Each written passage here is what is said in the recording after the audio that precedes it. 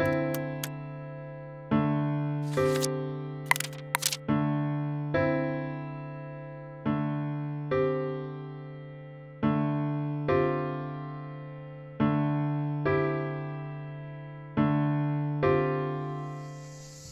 la recherche des graminées. Voilà qui devrait nous amuser pendant un moment.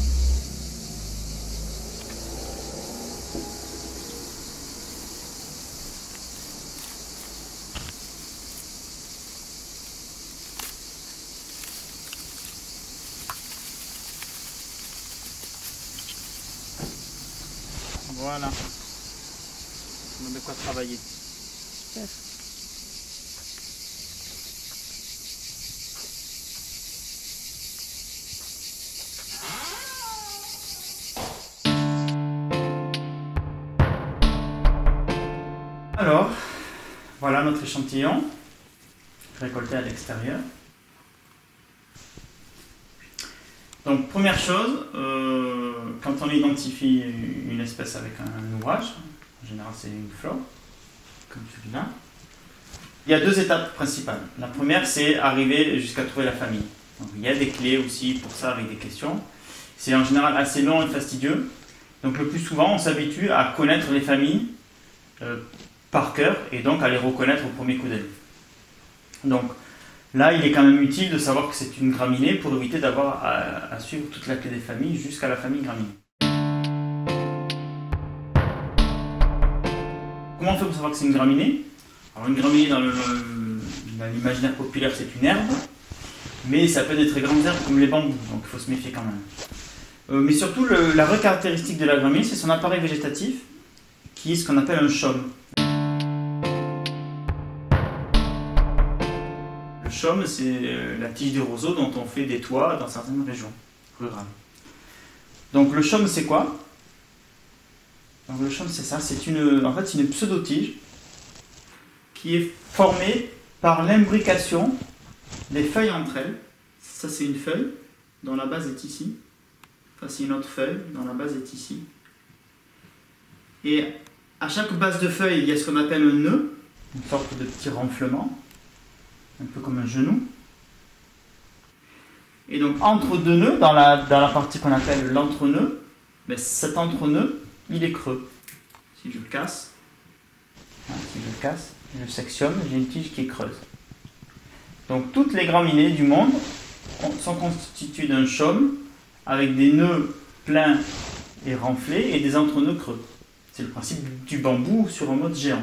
Le bambou, en fait, il y a des nœuds renflés, entre les nœuds, c'est creux. Le roseau dont on fait une flûte avec, c'est pareil.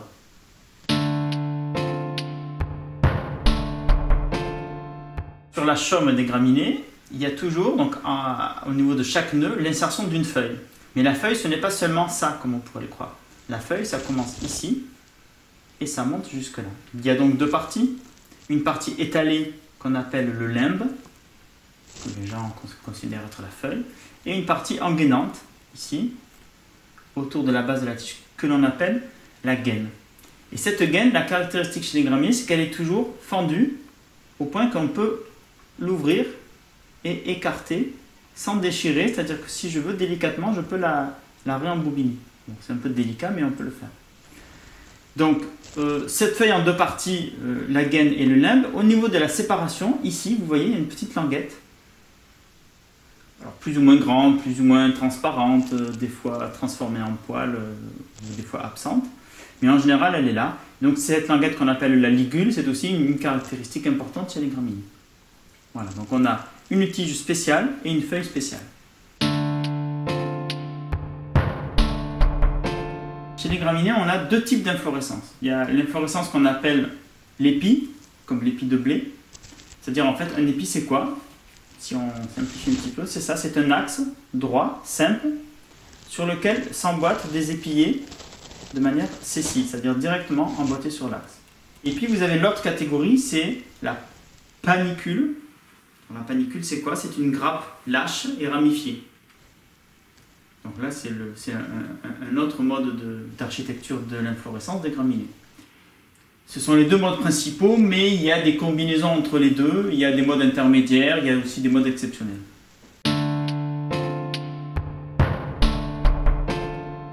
Sur la panicule, les épillés, c'est-à-dire ça, sont portés au bout, de, petits pédicelles plus ou moins longs, plus ou moins ramifiés, en nombre plus ou moins nombreux. La vraie caractéristique maintenant des graminées au niveau floral, c'est justement cet organe qui s'appelle l'épillé. L'épillé, c'est le diminutif, ça veut dire petit épi, tout simplement.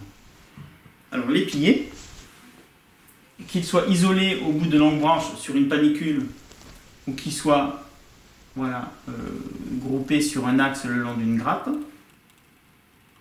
l'épillé, ça va contenir une ou plusieurs fleurs. Ce n'est pas l'équivalent direct de la fleur. C'est un organe spécifique aux graminées qui est un ensemble de fleurs, ou parfois qu'une seule. Et cet ensemble de fleurs, il est toujours euh, l'élément, enfin on va dire l'unité élémentaire de l'inflorescence, qu'elle soit épi ou panicule.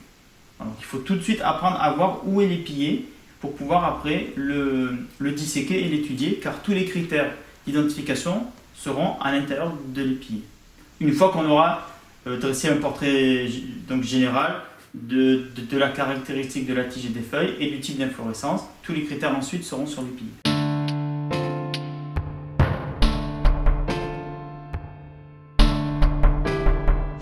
Au bout, de, au bout de ma tige, je peux facilement isoler un épillé. La principale caractéristique de l'épillé des graminées, c'est que à la base de l'épillé, il y a deux bractées. Deux bractées, c'est quoi? C'est deux feuilles, deux feuilles florales, une ici à gauche et une ici à droite. Elles sont au niveau, elles sont serrées l'une au-dessus de l'autre, l'une dans l'autre quelque part. Donc celle qui est en bas, on appelle ça la glume inférieure, celle qui est en haut, la glume supérieure. Et puis chacune a un certain nombre de nervures. Elle a une certaine dimension, elle peut avoir une certaine pilosité, etc. Et surtout, ce qu'on regarde souvent, c'est est-ce que les glumes, entre elles, se ressemblent ou se ressemblent pas? Est-ce qu'il y en a une plus grande que l'autre ou pas? Parfois, il y en a une qui a disparu, il n'y en a plus qu'une. Donc, à l'intérieur de l'épier, une fois qu'on a enlevé les glumes, on a les fleurs, ce qui correspond aux fleurs. Alors, ce sont des fleurs sans pétales, hein, c'est-à-dire le périanthe a disparu.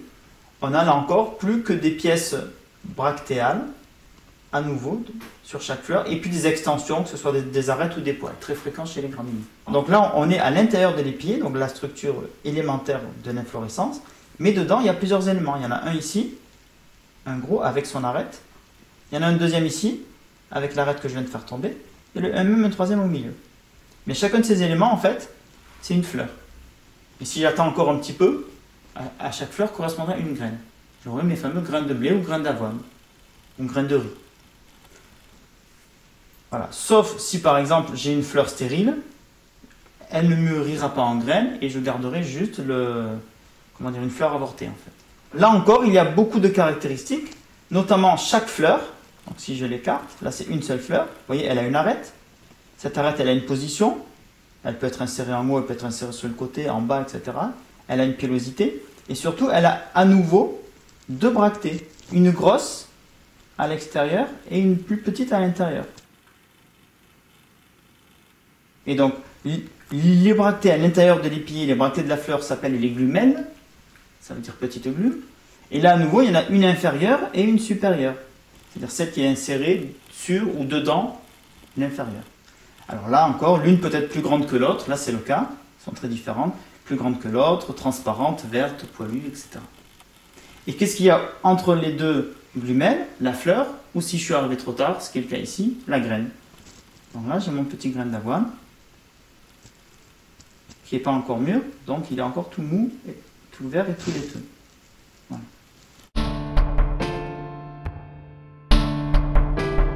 Si on revient sur l'inflorescence de type épi, c'est la même chose, il faut arriver à isoler l'épillé, c'est-à-dire l'unité élémentaire, donc elle est là. Donc là, à nouveau, j'ai des arêtes qui dépassent, mais surtout, là, les structures sont plus petites, et quand j'essaie de repérer les, les deux bractées qui sont à la base, les deux glumes, en gros, ça donne ça. Elles sont beaucoup plus petites que précédemment. Et on voit que l'une est plus petite que l'autre. Par contre, donc à l'intérieur de mes deux glumes, j'ai toutes mes fleurs. Et là, j'en ai beaucoup plus que précédemment. En fait, à chaque fois que sur le côté de, mon petit axe secondaire, là, à chaque fois, droite-gauche, droite-gauche, j'ai une fleur. Et à chaque fleur, là encore, bon, il se trouve que là, il y a une arête, c'est fréquent, mais c'est pas obligatoire Et là encore, sur chaque fleur, si je décortique de manière plus fine, je vais avoir encore deux bractées. Et entre, les, donc, entre mes deux glumelles, la fleur, si elle est ouverte ou si elle est fanée, la graine en train de se former. Et là, à nouveau, j'ai une arête, mais contrairement à précédemment, elle est insérée au sommet de la glumelle. Elle prolonge la glumelle. Il est important de regarder tout ça, si possible, dès le début, parce que inévitablement, on va nous poser des questions dans les clés pour savoir à quel genre de graminée on a affaire. Donc, autant dès le départ, une fois qu'on s'est assuré que c'est une graminée, regardez en détail la tige, la pilosité de la tige, les nœuds, les entre-nœuds, les feuilles, les gaines, les ligules, la forme, leur pilosité, la disposition des poils, puis quand on arrive dans l'inflorescence, la position des épillets, leur grosseur, leur nombre, la, grosseur des glumes, est-ce qu'elles sont similaires entre elles ou pas, la grosseur des glumelles, est-ce qu'elles sont similaires entre elles ou pas, le nombre et la position des arêtes, et pour finir, le nombre de fleurs. Vous voyez qu'ici, en gros, si je compte, 1, 1, 2, 3, 4, 5, 6, à peu près 7, 8 fleurs. Et surtout ici, à la différence de précédemment, si je reconstitue ma fleur, en fait, l'épillé, l'ensemble des fleurs de l'épillé dépasse de beaucoup les glumes, qui sont finalement assez courtes. Alors que précédemment, si on enlève les arêtes qui sont des, éléments annexes, finalement les fleurs sont inférieures ou égales aux glumes, donc elles sont incluses à l'intérieur des bractées. Voilà, avec ces deux exemples extrêmes, les deux principaux types de catégories de graminées qu'on peut observer. Une fois qu'on a compris ça, on va pouvoir répondre aux questions. Si on n'a pas compris ça, c'est très difficile de répondre aux questions. D'où la particularité des graminées, quand on débute, de faire l'effort quand même de comprendre ce qu'on observe.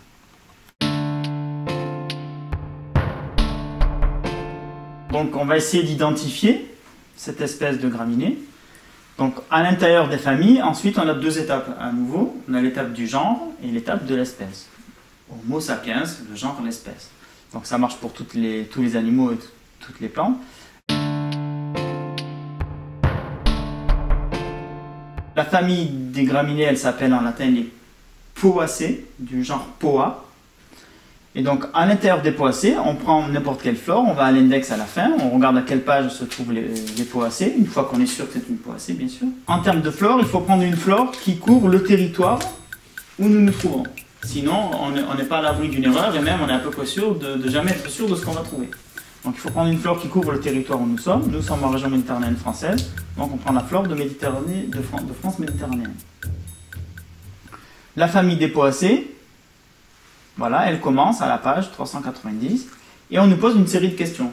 Une série de, questions à chaque fois oui, non, oui, non, des questions dichotomiques.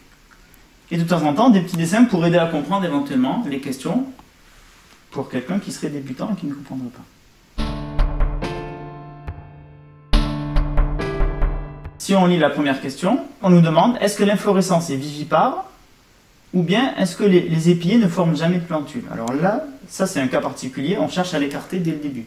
Ou si on était dedans, à s'en rendre compte rapidement.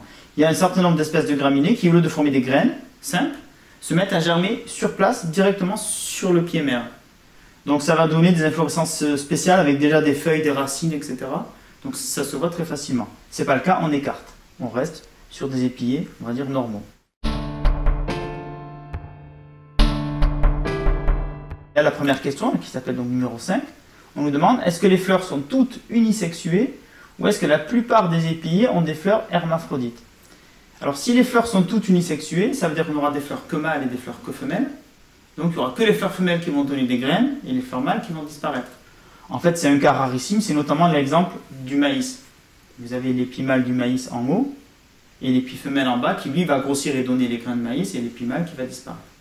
On n'est pas dans ce cas-là. Toutes les fleurs se ressemblent et toutes ont l'air de donner des graines, donc toutes sont au moins femelles et vraisemblablement hermaphrodites pour pouvoir être fécondées. On passe au 5'. Question suivante. Épillé isolé à chaque nœud de l'axe principal ou bien inflorescence plus complexe en panicule.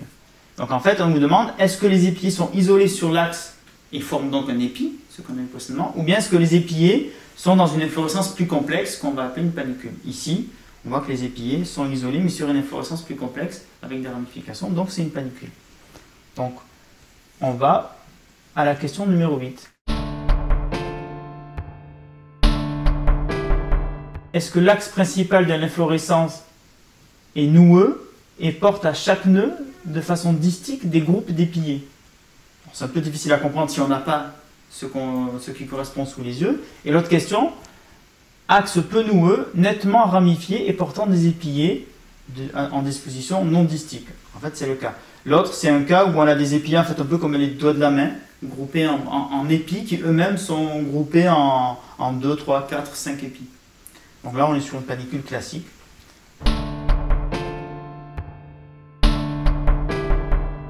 Question 9. Inflorescence formée de deux ou plusieurs épis. Euh, ou bien inflorescence sans épis ni grappe spiciforme, donc en panicule lâche. Voilà, on confirme encore la question, on évacue encore un cas particulier. Donc on arrive à la question 10.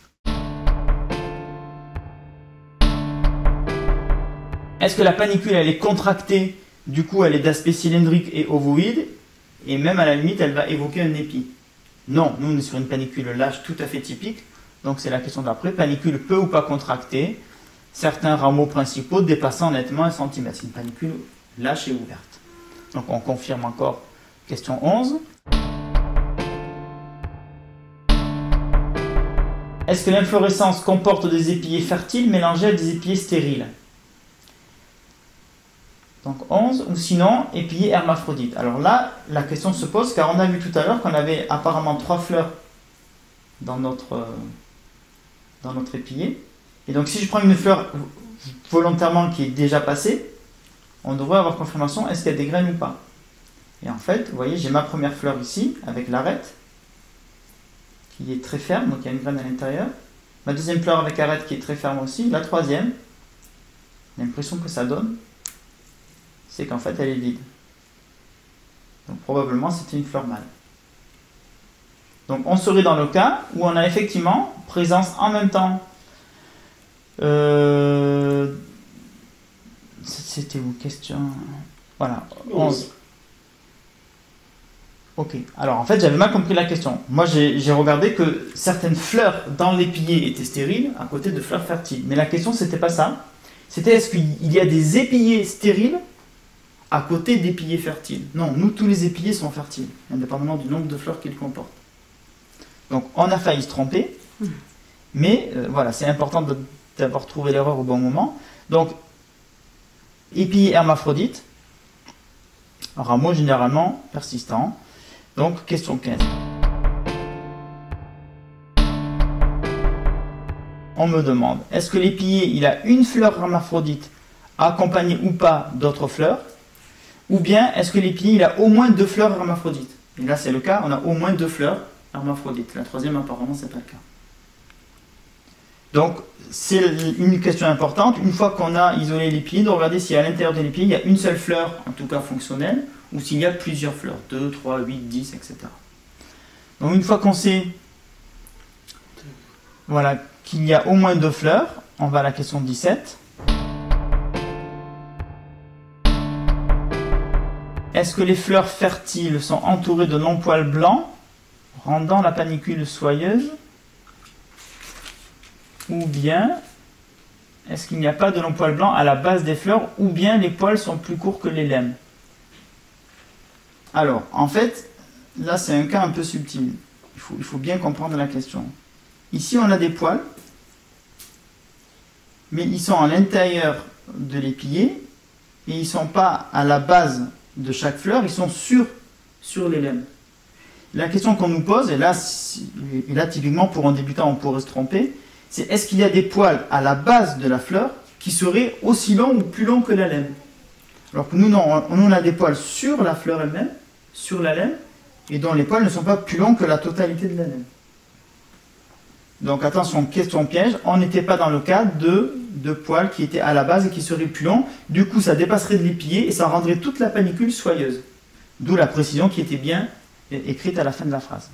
Donc on est dans l'autre cas. On arrive à la question 21.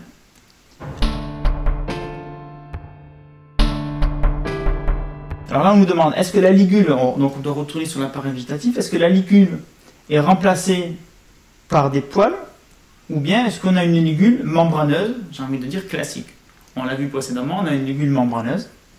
Donc on va répondre à la question 22.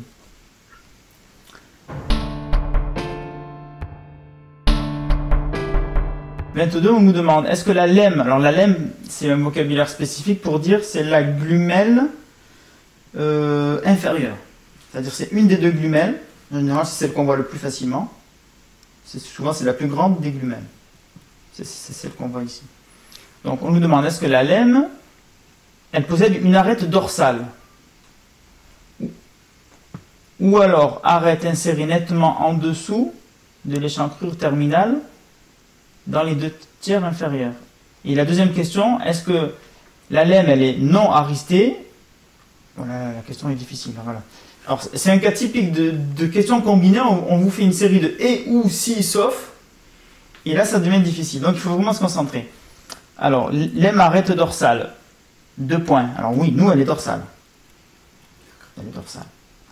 Donc, a priori, ça part bien parce que l'autre, c'est lemme non aristée, sans arête, ou à arête terminale, ou plus fréquemment subterminale. Voilà. Donc là, on est sur arête dorsale. Et pour confirmer, en fait, c'est une confirmation, il nous précise L'arête est alors insérée nettement en dessous de l'échancrure. L'échancrure, elle est ici, à peu près là. Il y a une petite échancrure ici. Donc l'arête est insérée nettement en dessous. Elle est vraiment dorsale, elle est même assez basale. Donc là, il n'y a pas d'ambiguïté.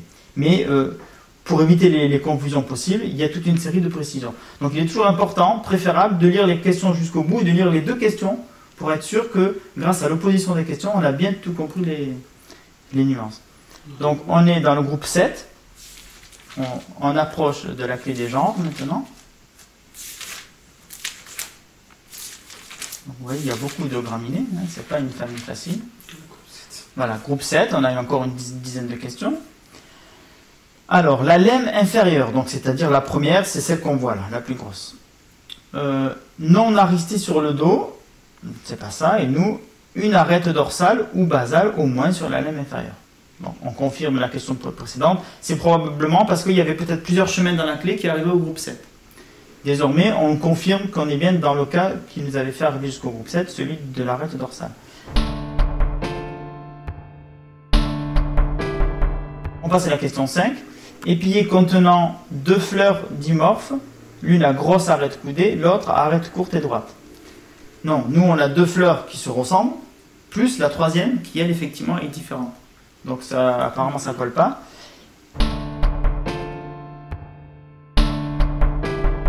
Autre question, on confirme, épillé à deux fleurs semblables ou bien à plus de deux fleurs? Donc on a bien deux fleurs semblables plus une troisième qui est dissemblable, mais on est dans ce cas-là. Donc question 8. Glume supérieure, donc les glumes c'est ça. C'est les premières bractées, c'est avant de rentrer dans l'épillé. Donc la supérieure, c'est celle-ci, et l'inférieure, c'est celle-ci. Mais elles sont apparemment égales ici. Glume supérieure dépassant 7 mm ou bien inférieure à 7 mm. Bon, là, j'ai largement quelque chose qui fait 2,5 voire 3 cm. Donc, on est sur des grandes glumes. Donc, on n'a plus que 3-4 possibilités.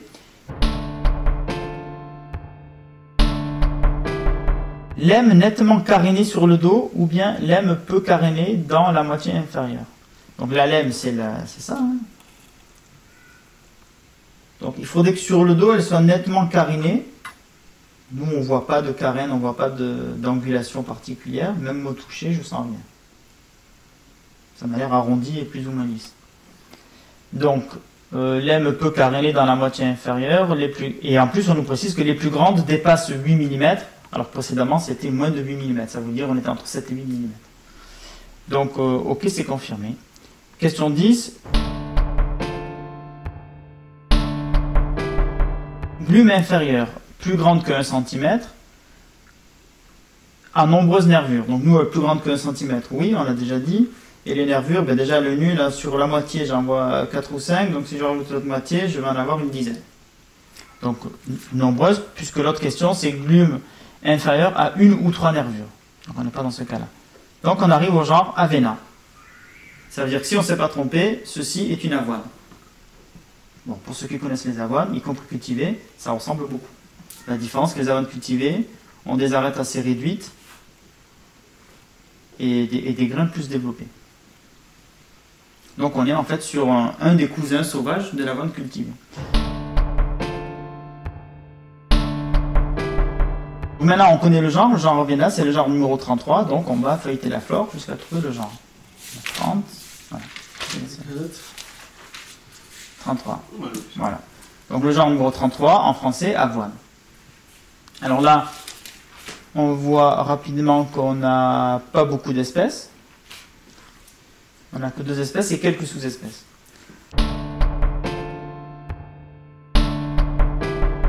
La question principale, quand on sait que c'est une avoine, on nous demande est-ce que la, la lemme, donc la glumelle inférieure, est terminée par deux arêtes fines, qui sont le prolongement de deux nervures, ou bien est-ce qu'elle est terminée uniquement par deux pointes membraneuses non aristées Au sommet de la lemme, là, il y a à peine, à peine deux petites dents.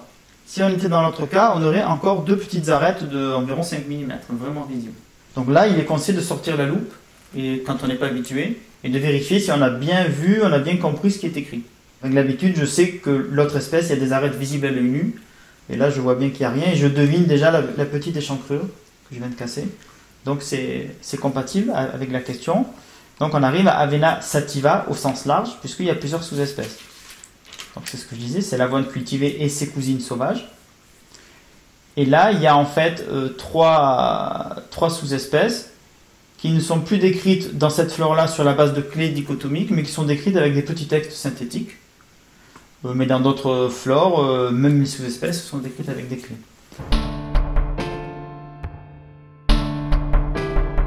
Il y a trois sous-espèces. Il y a l'avoine cultivée, la vraie, on a les dessins ici. Vous voyez, souvent, il n'y a plus qu'une arête. Il y a, en plus, il y a très peu de poils. C'est un organe qui est simplifié, qui est un petit peu propre. L'homme l'a sélectionné dans la nature pour pouvoir avoir des graines plus faciles à ramasser. Il y a une autre sous-espèce, c'est Fatua, ce qu'on appelle la folle avoine. C'est souvent une, mauvaise herbe qui envahit les champs cultivés d'avoine. Ici, on voit très bien qu'il y a deux grandes arêtes qui correspondent aux deux grandes fleurs, plus une petite arête qui correspond à la troisième fleur. Or, nous, la troisième fleur, elle était rabougrie, on n'avait pas d'arête. Donc, on est dans ce cas-là, la voile dite stérile, qui a deux grandes fleurs fertiles avec deux arêtes, plus une fleur au milieu qui est restée stérile et qui n'a même plus d'arête. Voilà, en version résumée, ce qui est écrit ici. Donc, on est bien sur l'avoine stérile, qu'on appelle Avena sterilis, ou dans certaines fleurs comme celle-ci, Avena sativa, sous-espèce stérilis. C'est-à-dire, ça rappelle que c'est la sous-espèce sauvage de l'avoine cultivée, dont l'avoine folle, la folle avoine, est aussi un autre, un autre variant intermédiaire entre les vrais vrais sauvages et les vrais cultivés. Probablement, dans l'histoire, cette sous-espèce a servi d'intermédiaire à la culture et à la création de celle-ci. L'identification est terminée au sens strict, mais euh, si on veut s'assurer que l'identification est exacte, on doit normalement effectuer un certain nombre de vérifications. Les vérifications sont données dans le texte de la flore ou on peut aller les chercher dans des ouvrages complémentaires. Ici par exemple, on nous dit, donc si je, regarde déjà l'espèce en général avant la sous-espèce, on va me dire que ça fleurit en mai-juin. On est, on est en juin. il y en a même qui sont déjà fanés, donc ça a fleuri en mai aussi, donc c'est conforme. Ça pousse dans tous les départements méditerranéens, c'est commun. D'ailleurs, c'est conforme, on n'a pas eu de mal à chercher, on l'a trouvé dans le trottoir du parking. Et ça pousse à tous les étages, depuis le thermo-méditerranéen jusqu'au montagnard. Et ça fréquente les friches bord de chemin. C'est exactement l'endroit où on l'a trouvé. Donc, c'est pas une preuve que c'est ça, mais on est rassuré que ça puisse e-, effectivement être ça. Et, pour les sous-espèces, on aura peut-être aussi des précisions. La seule précision sur euh, Avena sterilis, c'est qu'elle est répandue partout. Ça confirme. Et puis on a des détails après, euh, plus précis sur les mesures de la fleur. Si on voulait regarder à la loupe, on nous dit voilà, que la cicatrice d'attache de la fleur ici, il y a toujours une cicatrice à l'endroit, à l'endroit où on, où on décroche, parce que chez cette espèce, les pieds, quand ils se décrochent de la fleur, bon là, quand ils se décrochent, top, il va y avoir une cicatrice ici. Eh bien, la forme de cette cicatrice est caractéristique non seulement de l'espèce, mais des sous-espèces aussi. D'où l'intérêt, idéalement, quand on identifie une plante, d'avoir des échantillons déjà en fruits et d'autres encore en fleurs. Comme ça, on a un maximum de critères. Là, j'ai fait exprès de choisir une panicule qui était à moitié fanée pour avoir déjà tous les critères. Si ça ne suffit pas comme élément de, vérification, on va regarder dans des atlas cartographiques ou sur Internet sur des bases de données pour voir si cette espèce existe vraiment dans le département de l'Hérault, dans la ville de Montpellier, dans le quartier où je l'ai ramassé. On peut aller voir des photos que les gens ont, ont prises sur des bases de données de photos qui sont vérifiées et on voit si la photo de l'inflorescence, la photo de la feuille, la photo des graines correspond réellement à ce qu'on a vu. Et une fois que tous ces éléments sont concordants, normalement on est rassuré, on pense qu'on n'a pas fait d'erreur. S'il faut, on prend d'autres flores et on, réidentifie le même échantillon avec d'autres clés, avec d'autres questions, pour voir si tout concorde. En général, tout concorde. S'il y a un écart, c'est que probablement on s'est trompé quelque part. Assez souvent, quand on débute, on croit avoir bien identifié, on est content, ah j'ai trouvé mon espèce, c'est ça. Et puis dès qu'on pousse un peu la vérification, ah ouais, mais elle pousse en montagne. Ah oui, mais elle a des fleurs bleues, les miennes sont rouges. Ah oui, mais elle est grosse, la mienne est petite. Ah, mais j'avais pas vu ce détail-là. Ah, mais, ah, mais. Et voilà. Et en fait, on se rend compte qu'on a, effectué des, erreurs au cours de la clé. Si on a fait une erreur dans la clé, il faut essayer de remonter la clé à l'envers pour trouver à quel endroit. Ah oui, là, il y a une question, j'avais mal compris. J'ai dû mal regarder. Donc, donc, soit je comprends mon erreur, je la rectifie. Soit je suis pas sûr, mais j'imagine que j'ai pu me tromper là et je tente la deuxième piste. Donc, assez souvent, quand on débute, on, tente des, identifications en parallèle, plusieurs pistes, et à la fin, on, voit laquelle est la plus probable. Si un coup j'arrive sur une amande stérile et puis l'autre coup j'étais arrivé sur un pâturin bulbeux, après avec les vérifications, j'aurais vite vu que le pâturin bulbeux il, ne pousse pas au bon endroit, il n'a pas la même allure sur des photos, donc je m'étais trompé, donc c'était bien l'amande stérile.